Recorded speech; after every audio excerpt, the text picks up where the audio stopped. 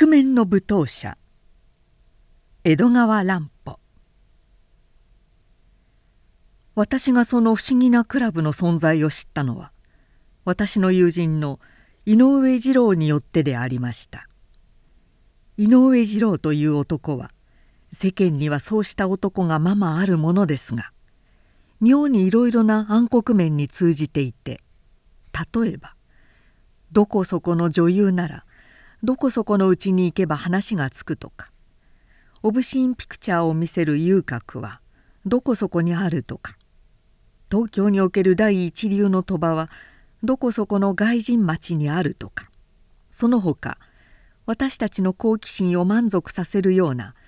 種々さまざまな知識を極めて豊富に持ち合わせているのでした。その井上二郎がある日のこと私の家へやってきて「さて改まって言うことには無論君なぞは知るまいが僕たちの仲間に20日会という一種のクラブがあるのだ。実に変わったクラブなんだ。いわば秘密結社なんだが会員は皆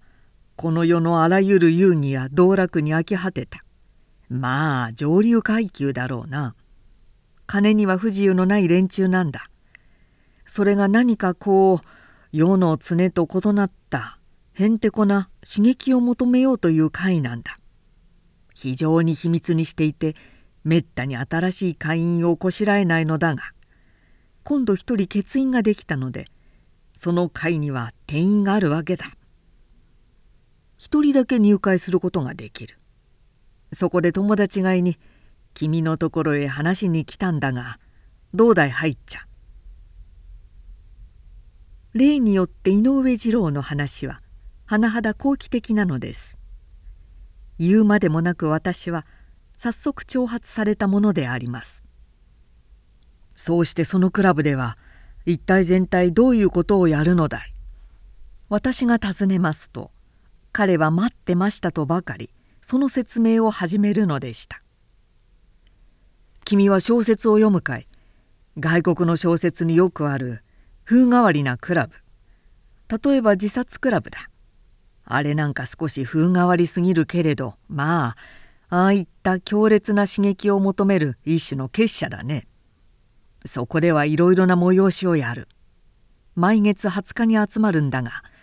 ひとたびごとにあっと言わせるようなことをやる。今時この日本で決闘が行われると言ったら君なんか本当にしないだろうが。20日会ではこっそりと決闘の真似事さえある。もっとも命がけの決闘ではないけれどある時は当番に当たった会員が犯罪めいたことをやって例えば人を殺したなんてまことしやかに脅かすことなんかやる。それが真に迫っているんだから誰しも肝を冷やすよ。またある時は非常にエロチックな遊戯をやることもある。ともかくそうしたさまざまな珍しい催しをやって普通の道楽なんかでは得られない強烈な刺激を味わうのだ。そうして喜んでいるのだ。どうだい？面白いだろう。といった調子なのです。だがそんな小説めいたクラブなんか今時実際にあるのかい？私が半信半疑で聞き返しますとだから君はダメだよ。世の中の隅々を知らないのだよ。そんなクラブなんかお茶の子さ。この東京にはまだまだもっとひどいものだってあるよ。世の中というものは君たち君子が考えているほど単純ではないのさ。早い話がある貴族的な集会所でオブシーンピクチャーの活動写真をやったなんてことは世間周知の事実だがあれを考えてみたまえ。あれなんか都会の暗黒面の一片鱗に過ぎないのだよ。もっともっとどえらいものがその辺の隅々にゴロゴロしているのだよ。で結局私は井上二郎に切腹されてその秘密結社へ入ってしまったのです。さて入ってみますと彼の言葉に嘘はなくいやそれどころか多分こうしたものだろうと想像していたよりもずっとずっと面白い。面白いというだけでは当たりません。怖悪的という言葉がありますがまああの感じです。ひとたびその会に入ったらそれがやみつきです。どうしたって会員を装うなんて気にはなれないのです。会員の数は17人でしたがその中でまあ会長といった位置にいるのは日本橋のある大きな呉服屋の主人公でこれがおとなしい商売柄に似合わず非常にアブノルマルな男でいろいろな催しも主としてこの呉服屋さんの頭から絞り出されるというわけでした。おそらくあの男はそうした事柄にかけては天才だったのでありましょう。その発案が一つ一つ奇想天外で気絶怪絶でもう間違いなく会員たちを喜ばせるのでした。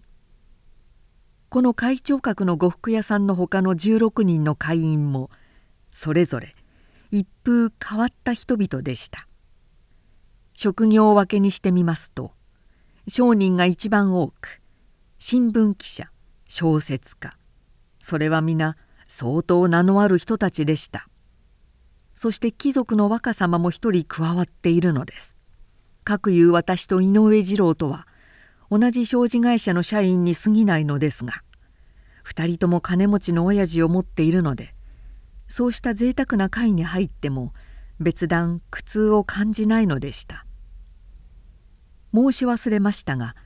20日会の会費というのが少々高くたった一晩の会合のために月々50円ずつ徴収せられるほかに催しによってはその倍も3倍もの臨時費がいるのでした。これはただの腰弁にはちょっと手痛い金額です。私は5ヶ月の間20日会の会員でありました。つまり5度だけ会合に出たわけです。先にも言う通り一度入ったら一生やめられないほどの面白い会をたった5ヶ月でよしてしまったというのはいかにも変です。がそれには訳があるのです。そしてその私が20日会を脱退するに至ったいきさつをお話しするのが実はこの物語の目的なのであります。でお話は私が入会以来5回目の集まりのことから始まるのです。それまでの4回の集まりについてももし暇があればお話ししたく思うのですが。そしてそのお話しすればきっと読者の好奇心を満足させることができると信ずるのですが。残念ながら指数に制限もあることですからここには省くことにいたします。ある日のこと会長格の呉服屋さんが「井関さんと言いました」私の家を訪ねてきました。そうして会員たちの家を訪問して個人個人の会員と親しみその性質を得得して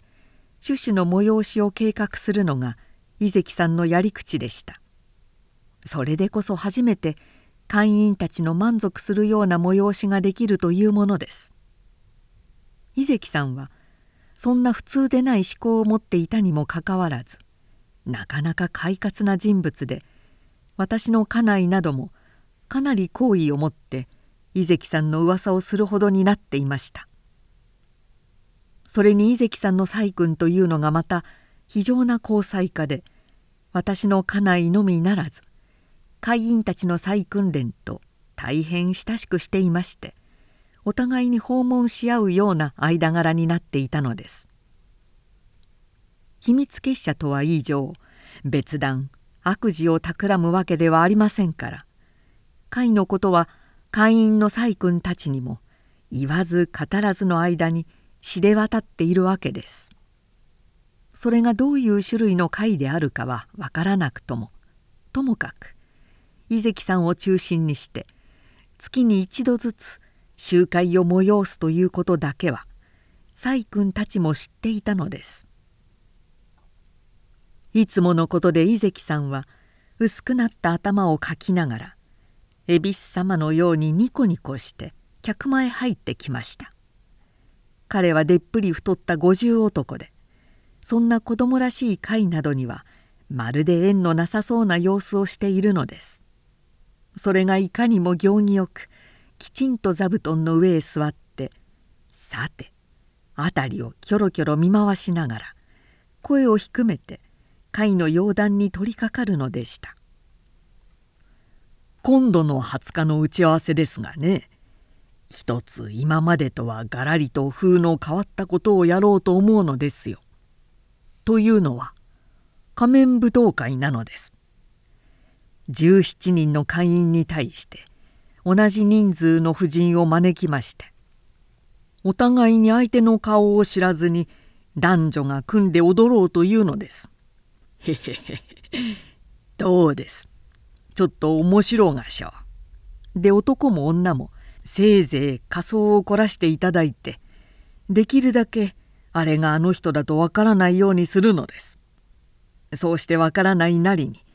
私の方でお渡ししたくじによって踊りの組を作るつまりこの相手が何者だかわからないというところがミソなんです仮面は前もってお渡しいたしますけれど変装の方もできるだけうまくやっていただきたい。一つはまあ変装の競技会といった形なのですから。一応面白そうな計画ですから。私は無論賛意を表しました。がただ心配なのは相手の婦人がどういう種類のものであるかという点です。その相手の女というのはどこから招かれるわけですか？すると井関さんは癖の気味悪い笑い方をして「それはまあ私に任せておいてください。決してつまらないものは呼びません。商売人だとかそれに類似のものでないことだけはここで断言しておきます。ともかく皆さんをはっと言わせる趣向ですからそいつを明かしてしまっては今日がない。まあまあ女の方は私に任せておいてください。そんな問答を繰り返しているところへ折やしく私の家内がお茶を運んできました。井関さんははっとしたように居住まいを正して例の不気味な笑い方でやにわにヘラヘラと笑い出すのでした大変お話が弾んでおりますこと。家内は意味ありげにそんなことを言いながらお茶を入れ始めました。少しばかり商売上のお話がありましてね。井関さんは取ってつけたように弁解めいたことを言いました。いつもそんなふうな調子なのです。そしてともかく一通り打ち合わせを済ました上井関さんは帰りました。無論場所や時間などもすっかり決まっていたのでした。さて当日になりますと生まれて初めての経験です。私は命ぜられた通りせいぜい念入りに変装してあらかじめ渡されたマスクを用意して指定の場所へ出かけました。変装ということがどんなに面白い遊戯であるかを私はその時初めて知ることができました。そのためにわざわざ知り合いの美術家のところへ行って美術家特有のへんてこな洋服を借り出したり長髪のかつらを買い求めたりそれほどにする必要もなかったのでしょうが家内のおしろいなどを盗み出して化粧をしたりそしてそれらの変装をうちの者たちに少しも悟られないようこっそりとやっている気持ちがまたたまらなく愉快なのです。鏡の前でまるでサーカスの道化役者ででもあるように顔にベタベタおしろいを塗りつける心持ち。あれは実際一種異様の不思議な魅力を持っているものです。私は初めて女が兄弟の前で長い時間を浪費する気持ちが分かったように思いました。ともかくも変装を済ませた私は異形の風景を人力車の幌に隠して午後8時という指定に間に合うように秘密の集会場へと出かけました。集会場は山の手のある富豪の邸宅に設けられてありました。車がその邸宅の門に着くと私はかねて教えられていた通り門番小屋に見張り番を務めている男に一種の合図をして長い敷石道を玄関へと差し掛かりました。アーク灯の光が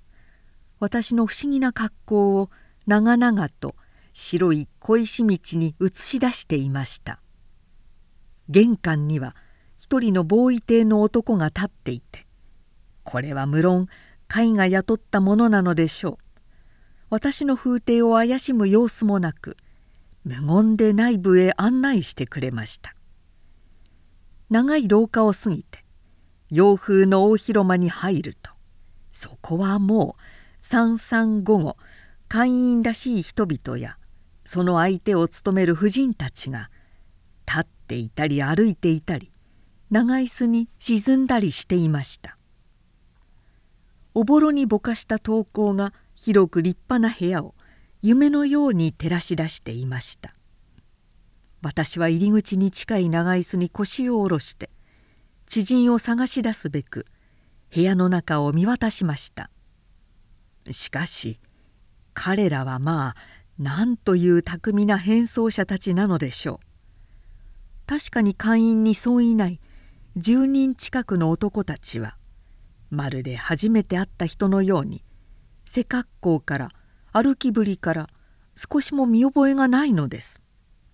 言うまでもなく顔面は一様の黒いマスクに隠されて見分けるべくもありません。他の人はともかく古くからの友達の井上二郎だけはいかにうまく変装したからといって見分けられぬはずはあるまいと瞳を凝らして物色するのですが私の後から次々に部屋へ入ってきた人たちの中にもそれらしいのは見当たりません。それはまあなんという不思議な晩であったことでしょう。いぶし銀のようにくすんだ色の広間の中に鈍く光った寄せ木細工の床の上にシュシュさまざまの変装を凝らしおそろいのマスクをはめた17人の男と17人の女がむっつりと黙り込んだまま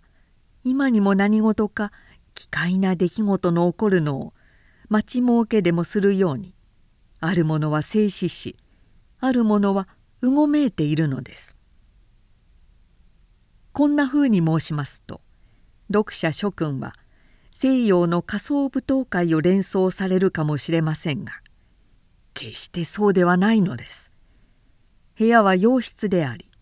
人々は大体様子をしてはいましたけれどその部屋が日本人の邸宅の洋室でありその人々が様子をした日本人であるように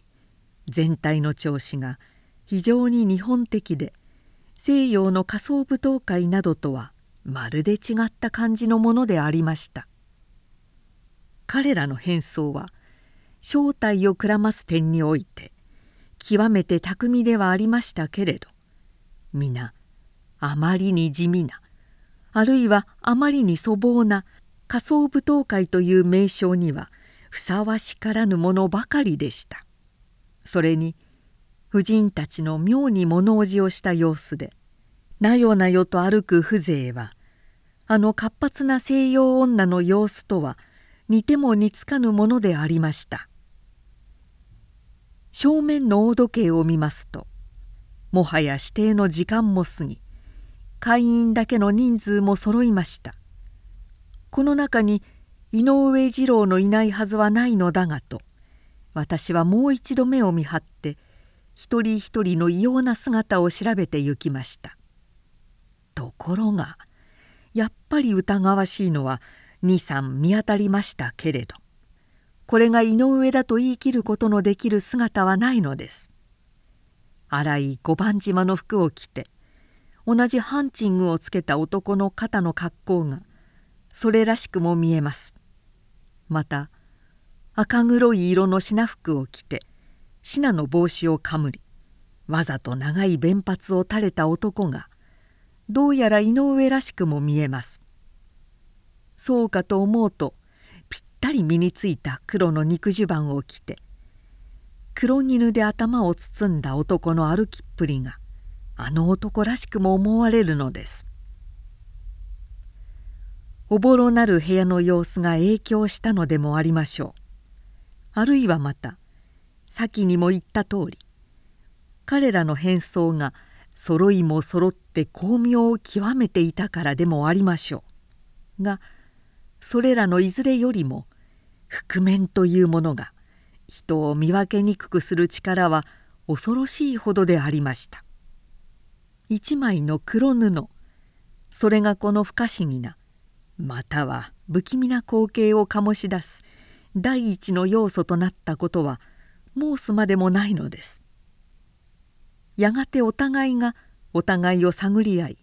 疑い合って奇妙なだんまりを演じている。その場へ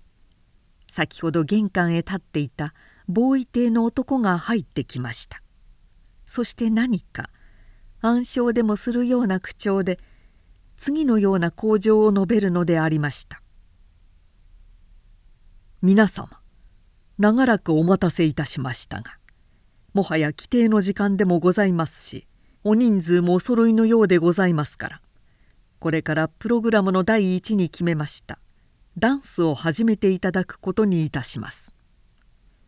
ダンスのお相手を決めますためにあらかじめお渡し申しました番号札を私までお手渡しを願い私がそれを呼び上げますから同じ番号のお方がお一組におなりくださいますようそれから甚だ失礼ではございますが中にはダンスというものをご案内のないお方様がおいでになりますので今夜はどなた様もダンスを踊るというおつもりでなくただ音楽に合わせまして手を取り合って歩き回るくらいのお考えでご案内のないお方様も少しもご遠慮なくご誘拐をお尽くしくださいますようなお組み合わせが決まりましたならばお経を添えますためにその部屋の伝統をすっかり消すことになっておりますからこれもお含みおきくださいますようお願いいたします。これは多分井関さんが命じたままを復唱したものに過ぎないのでしょうがそれにしても何というへんてこな申し渡しでありましょう。いずれは狂気めいた20日会の催しのことですけれどちと薬が効きすぎはしないでしょうか。私はそれを聞くとなんとなく身のすくむ思いがしたことでありますさてボーイ邸の男が番号を読み上げるに従って私たち34人の男女はちょうど小学生のようにそこへ一緒に並びましたそして17対の男女の組み合わせが出来上がったわけです。男同士でさえ誰が誰だかわからないのですからまして相手と決まった女が何者であるか知れよう道理はありません。それぞれの男女はおぼろげな投稿のもとに互いに覆面を見交わして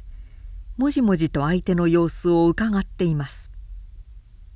さすがに木を好む20日会の会員たちもいささか立ちすくみの形でありました。同じ番号の縁で私の前に立った婦人は黒っぽい洋装をして昔流の濃い覆面をつけその上からご丁寧にマスクをかけていました。一見したところこうした場所にはふさわしくないしとやかな様子をしていましたけれどさてそれが何者であるか。専門のダンサーなのか女優なのかあるいはまた堅気の娘さんなのか。井関さんの先だっての口ぶりではまさか芸者などではありますまいが何しろ全く見当がつかないのです。がだんだん見ていますうちに相手の女の体つきになんだか見覚えのあるような気がしてきました。気の迷いかもしれませんけれどその格好はどこやらで見たことがあるのです。私がそうして彼女をじろじろ眺めている間に先方でも同じ心と見えまして長髪画家に変装した私の姿を熱心に検査し思い患っている様子でした。あの時蓄音機の回転し始めるのがもう少し遅く伝統の消えるのがちょっとでも遅れたならあるいは私は後に私をあのように驚かせ恐れさせたところの相手をすでに見破っていたかもしれないのですが惜しいことにはもう少しというところで一時に広間が暗黒になってしまったのです。はっと暗闇になったものですから仕方なくあるいはやっと勇気づいて私は相手の女の手を取りました。相手の方でもそのしなやかな手首を私に委ねました。気の利いた司会者はわざとダンスものを避けて静かな弦楽合奏のレコードをかけましたのでダンスを知った人も知らない人も一様に素人として広間の中を回り始めました。もしそこにわずかの光でもあろうものなら気がさしてとても踊ることはできなかったでしょうが司会者の心遣いで幸い暗闇になっていたものですから男も女も案外活発におしまいにはコツコツというたくさんの足音がそれから荒い息遣いが広間の天井に響き渡るほども勢いよく踊り出したものであります。私と相手の女も初めの間は遠方から手を握り合って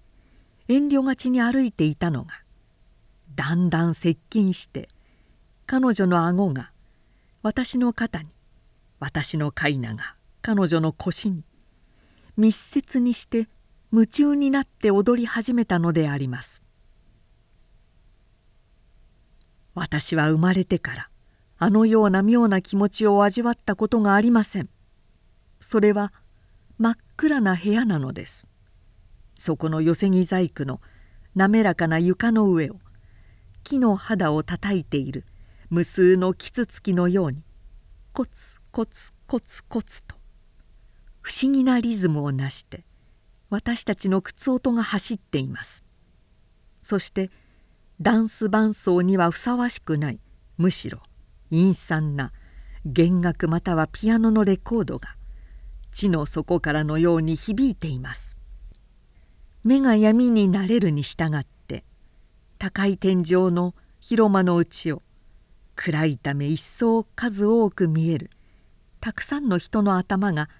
うごめいているのがおぼろげに見えます。それが広間のところどころに巨人のように喫立した数本の太い円柱をめぐってちらちらと入り乱れている有様は地獄の共演とでも形容したいような世にも奇怪な感じのものでありました。私はこの不思議な情景の中でどことなく見覚えのある。しかしそれが誰であるかはどうしても思い出せない一人の婦人と手を取り合って踊っているのです。そしてそれが夢でも幻でもないのです。私の心臓は恐怖とも歓喜ともつかぬ一種異様の感じを持って激しく踊るのでありました。私は相手の婦人に対してどんな態度を示すべきかに迷いました。もしそれがバイタの類であるなればどのような無作法も許されるでありましょう。がまさかそうした種類の婦人とも見えません。ではそれをなりわいにしている踊り目の類ででもありましょうか。いやいやそんなものにしては彼女はあまりにしとやかでかつ舞踏の作法さえ不安内のように見えるではありませんか。それなら彼女は堅気の娘片木の娘。片木の娘。片木の娘。あるいはどこかの細君ででもありましょうか。もしそうだとすると井関さんの今度のやり方はあまりに5年の言ったむしろ罪深い技と言わねばなりません。私はそんなことをせわしく考えながらともかくもみんなと一緒に回り歩いておりましたするとはっと私を驚かせたことにはそうして歩いている間に相手の婦人の一方の腕が驚くべき大胆さを持ってスルスルと私の肩に伸ばされたではありませんか。しかもそれは決して媚びを売る女のやり方ではなくと言って若い娘が恋人に対する感じでもなく少しのぎこちなさも見せないでさも慣れ慣れしく当然のことのように行われたのであります。間近く寄った彼女の覆面からは軽くにおやかな息が私の顔をかすめます。滑らかな彼女の絹服がなよなよと不思議な感触を持って私のビロードの服に触れ合います。このような彼女の態度はにわかに私を大胆にさせました。そして私たちはまるで恋人同士のように無言の舞踏を踊り続けたことであります。もう一つ私を驚かせたのは闇を透かして他の踊り手たちを見ますと彼らもまた私たちと同じようにあるいは一層大胆に決して初対面の男女とは思えないような踊り方をしていることでありました。一体まあこれは何という気違い沙汰でありましょう。そうしたことになれぬ私は見も知らぬ相手と暗闇の中で踊り狂っている自分がふと空恐ろしくなるのでした。やがてちょうど皆が踊り疲れた頃に蓄音機の総額がはたと止まって先ほどのボーイの声が聞こえました「皆様次の部屋に飲み物の用意ができましてございます」しばらくあちらでご休息くださいますようお願いいたします。声につれて境のドアが左右に開かれ眩しい光線がパッと私たちの目を打ちました。司会者の万意老なき心配りを感じながらしかし無言のまま一対ずつ手を取り合ってその部屋へ入るのでした。広間には比ぶべくもありませんがでも相当広い部屋に17個の小小宅が純白のクロースに覆われて配置よく並んでいました。ボーイの案内につれて私と私の夫人とは隅の方のテーブルに着きました。見ると給仕人はなくておのおののテーブルの上に2つのグラスと2本の洋酒の瓶が置かれてあります。1本はボルドーの白ぶどう酒。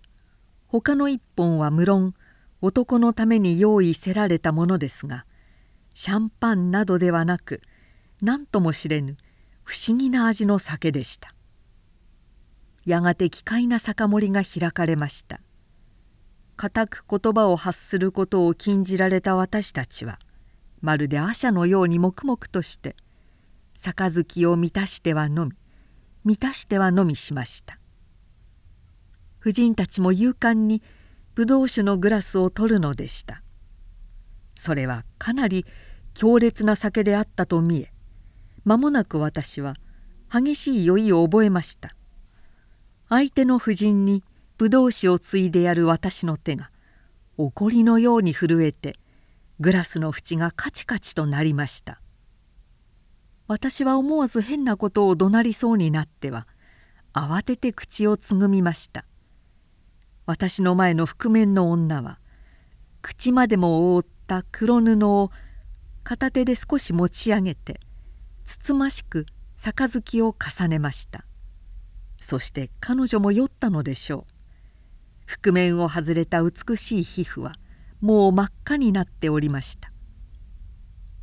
そうして彼女を見ているうちに私はふと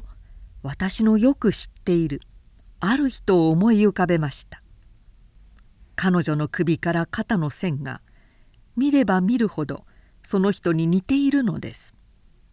しかしその私の知っている人がまさかこんな場所へ来るはずはありません。最初からなんとなく見たようなと感じたのはおそらく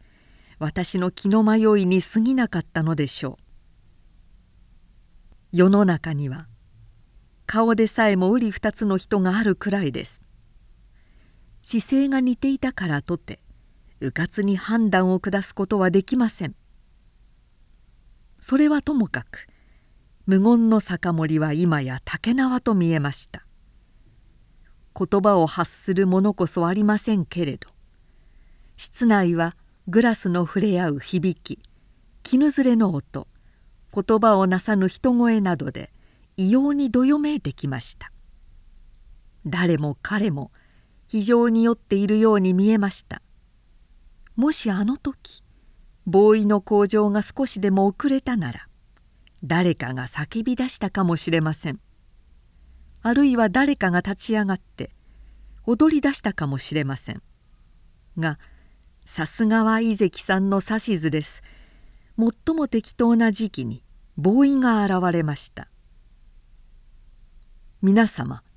お酒が済みましたらどうか踊り場の方へお引き上げを願います。あちらではもう音楽が始まっております。耳を澄ますと隣の玄関からは水角たちの心をそそるように前とはがらりと変わった快活なむしろ騒々しい管弦楽が響いてきました。人々はその音楽に誘われるようにぞろぞろと広間に帰りました。そして以前に数倍した物狂わしき舞踏が始まるのでした。あの世の光景を何と形容したらいいでしょう。耳も老線ばかりの騒音。闇の中に火花が散るかと見える無数の乱舞そして意味のない怒号。私の筆では到底ここにその光景を描き出すことはできません。のみならず私自身も獅子の運動に連れて発した極度の酔いに正気を失って人々がまた私自身がどのような筐体を演じたかをほとんど記憶しないのであります。焼けるような喉の渇きを覚えてふと目を覚ますと私は私の寝ていた部屋がいつもの自分の寝室でないことに気づきました。さてはゆうべ踊り倒れてこんな家へ担ぎ込まれたのかな。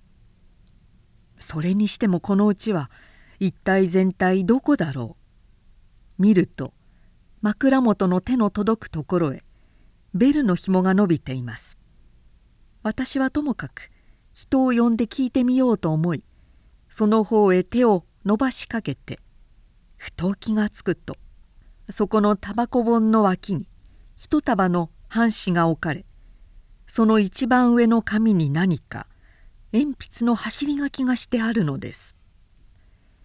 好奇心のまま読みにくい仮名文字を何気なく拾ってみますとそれは次のようにしたためてありました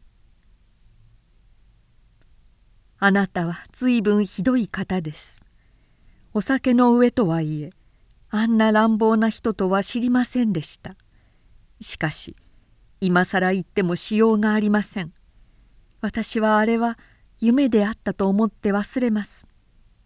あなたも忘れてください。そしてこのことは井上には絶対に秘密を守ってください。お互いのためです。私はもう帰ります。春子それを読んでゆくうちに寝ぼけていた頭が一度にはっきりして私は何もかも悟ることができました「あれは私の相手を務めた夫人は井上次郎の細君だったのか。そして言い難き開墾の情が私の心臓をうつろにするかと怪しまれました。泥酔していたとはいえ夢のように覚えています。昨夜闇の乱舞が絶頂に達した頃例のボーイがそっと私たちのそばへ来てささやきました「お車の用意ができましてございます。ご案内いたしましょう」私は夫人の手を携えてボーイの後に続きました。どうしてあの時彼女はあんなに従順に私に手を引かれていたのでしょう。彼女もまた酔っていたのでしょうか。玄関には一台の自動車が横付けになっていました。私たちがそれに乗ってしまうとボーイは運転手の耳に口をつけて「11号だよ」とささやきました。それが私たちの組み合わせの番号だったのです。そして多分ここの家へ運ばれたのです。その後のことは一層ぼんやりしてよくは分かりませんけれど部屋へ入るなり私は自分の覆面を取ったようです。すると相手の夫人は「はっ!」と叫んでいきなり逃げ出そうとしました。それを夢のように思い出すことができます。でもまだ酔いしれた私は相手が何者であるかを推察することができなかったのです。すべて泥酔のさせた技です。そして今この置き手紙を見るまで私は彼女が友人の細君であったことさえ知らなかったのです。私は何というバカ者でありましょう。私は夜の明けるのを恐れました。もはや世間に顔の出せない気がします。私はこの次どういう態度で井上二郎に会えばいいのでしょう。また当の春子さんに会えばいいのでしょう。私は青くなって突追いつ帰らぬ開墾にふけりました。そういえば私は最初から「相手の夫人にある疑いを持っていたのです。覆面と変装とに覆われていたとはいえあの姿はどうしても春子さんにそういなかったのです。私はなぜもっと疑ってみなかったのでしょう。相手の顔を見分けられぬほども泥酔する前になぜ彼女の正体を悟りえなかったのでしょう。それにしても井関さんの今度のいたずらは彼が井上と私との親密な関係をよく知らなかったとはいえほとんど常軌を逸していると言わねばなりません。たとえ私の相手が他の婦人であったとしても他の婦人であったにしても許すべからざる計画です。彼はまあどういう気でこんなひどい悪巧みを目論んだのでありましょう。それにまた春子さんも春子さんです。井上という夫のある身が知らぬ男と暗闇で踊るさえあるにこのような場所へ運ばれるまで黙っているとは。私は彼女がそれほど不倫な女だとは今の今まで知りませんでした。だがそれは皆私の得て勝手というものでしょう。私さえあのように泥酔しなかったらこんな世間に顔向けもできないような不愉快な結果を招かずとも済んだのですから。その時の何とも言えぬ不愉快な感じはいくら書いても足りません。ともかく私は夜の明けるのを待ちかねてその家を出ました。そしてまるで罪人ででもあるようにおしろいこそ落としましたけれどほとんど昨夜のままの姿を車の幌に深く隠して家路に着いたことであります。家に帰っても私の開墾は深まりこそすれ決して安らぐはずはありません。そこへ持ってきて私の女房は彼女にしてみれば無理もないことでしょうが病気と称して一間に閉じこもったきり顔も見せないのです。私は女中の給仕でまずい食事をしながら開墾の情をさらに倍化したことであります。私は会社へは電話で断っておいて机の前に座ったまま長い間ぼんやりしていました。眠くはあるのですがとても寝る気にはなれません。そうかといって本を読むこともその他の仕事をすることも無論ダメです。ただぼんやりと取り返しのつかぬ失策を思い患っているのでした。そうして思いに浸っているうちに私の頭にふと一つの懸念が浮かんできました。だが待てよ。私は考えるのでした。一体全体こんなバカバカしいことがあり得るものだろうか。あの井関さんが昨夜のような不倫な計画を立てるというのも変だしそれにいくら泥酔していたとはいえ朝になるまで相手の夫人を知らないでいるなんて少しおかしくはないか。そこには私をして強いてそう信じさせるような技巧が浪せられてはいなかったか。第一井上の春子さんがあのおとなしい細君が舞踏会に出席するというのも信じがたいことだ。ああそうだ。問題はあの婦人の姿なんだ。ことに首から肩にかけての線なんだ。あれが井関さんの巧妙なトリックではなかったのか。有利の巷から覆面をさせれば春子さんと見まがうような女を探し出すのは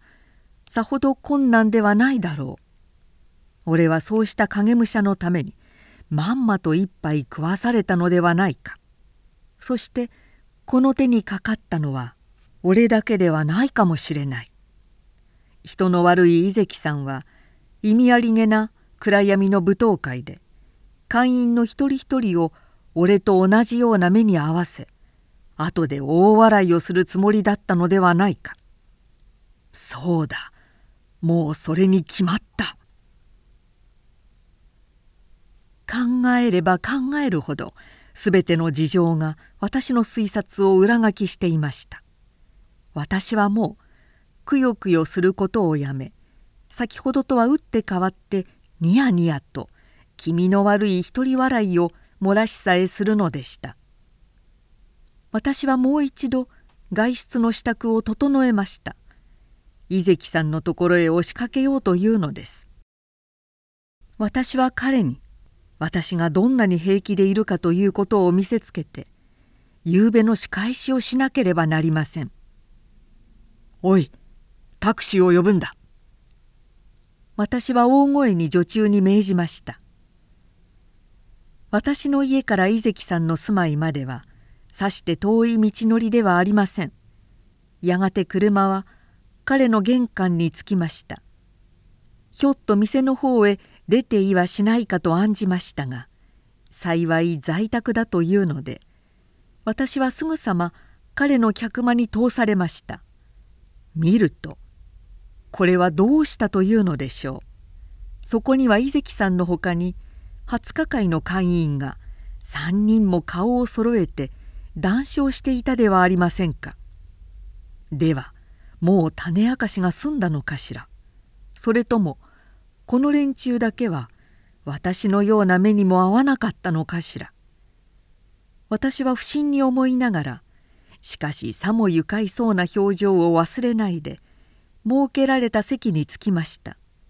「やあゆうべはお楽しみ」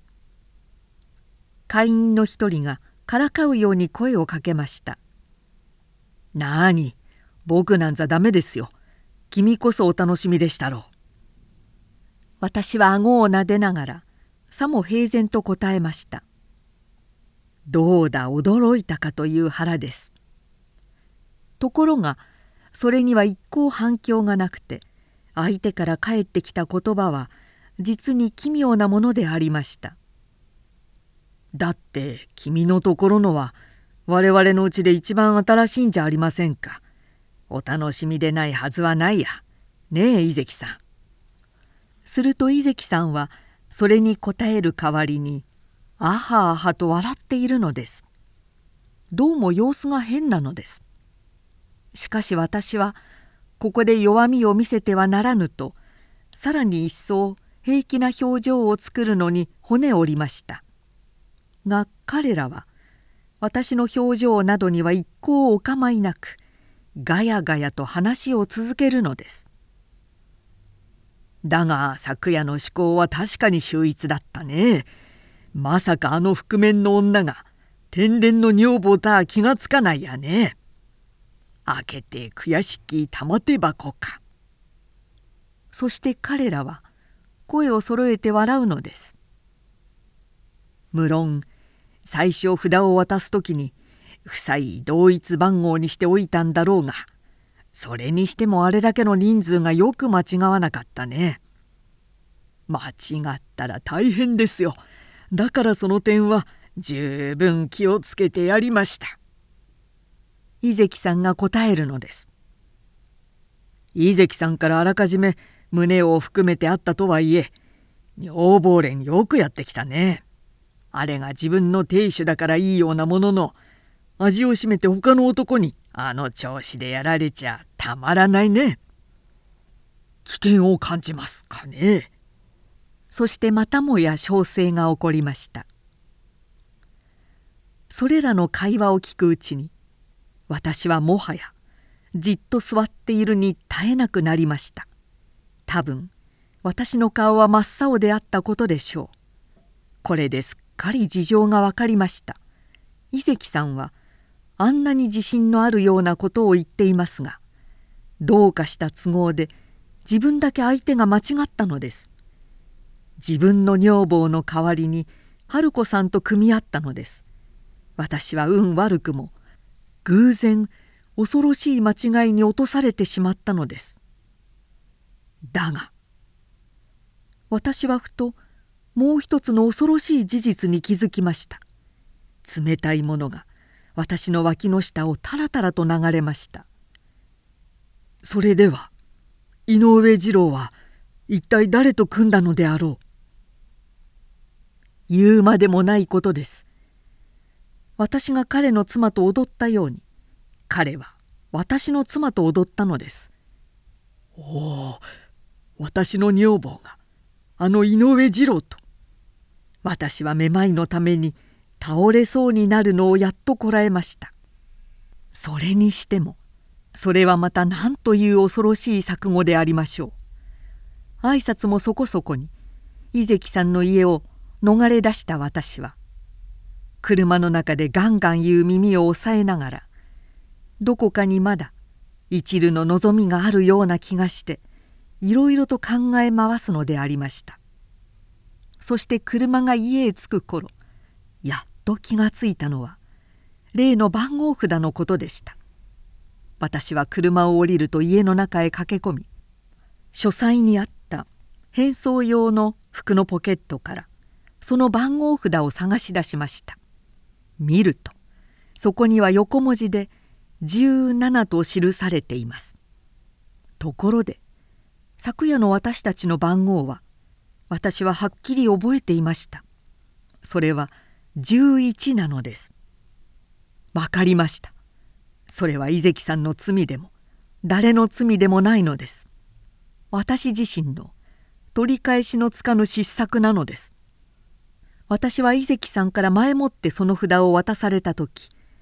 間違わぬようにとくれぐれも注意があったのにもかかわらずよくも見ておかないであの会場の劇場的な空気の中でそぞろ心に見たのです。そして1と7とを間違えて11番と呼ばれた時に返事をしたのです。でもただ番号の間違いくらいからこんな大事を引き起こそうとは誰が想像しましょう。私は20日会などという気まぐれなクラブに加入したことを今更後悔しないではいられませんでした。それにしても井上までがその番号を間違えたというのはどこまでいたずらな運命でしょう。おそらく彼は私が11番の時に答えたため自分の札を17番と誤信してしまったのでしょう。それに井関さんの数字は7と1と間違いやすいような書体だったのです。井上二郎と私の妻とのことは私自身の場合に引き比べて推察に固くありません。私の変装については妻は少しも知らないのですし彼らもまた私同様強者のように酔っ払っていたのですから。そして何よりの証拠は